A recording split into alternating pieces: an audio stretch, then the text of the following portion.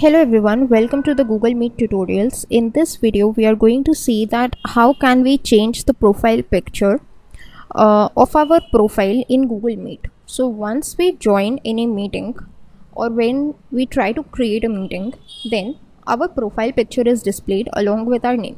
So you might want to keep it professionally, you might want to customize it. So in this video, we are going to see the same process.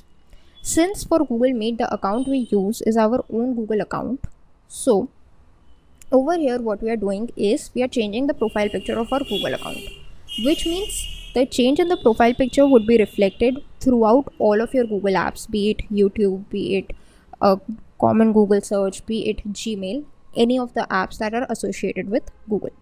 So let's see the process which is pretty simple. You need to go to the official website of google meet which is meet.google.com once you are in the home page, click on this top right corner, which shows this kind of an icon.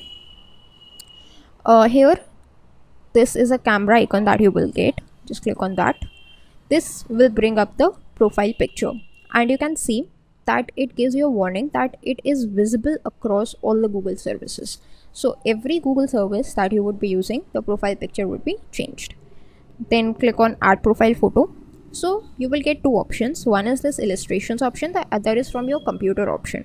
So if you want a custom profile picture like your picture or some other picture that you have um, selected to be your profile picture you can select from computer. Otherwise you can just choose any of the illustrations that you like. Like um, this london bridge illustration that i like.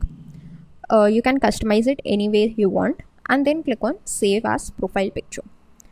So once you do that then you can see after a few seconds of time this profile picture would be saved and you will get a message that it could uh, will be updated soon and could take a day or two to see the changes. Then click on got it.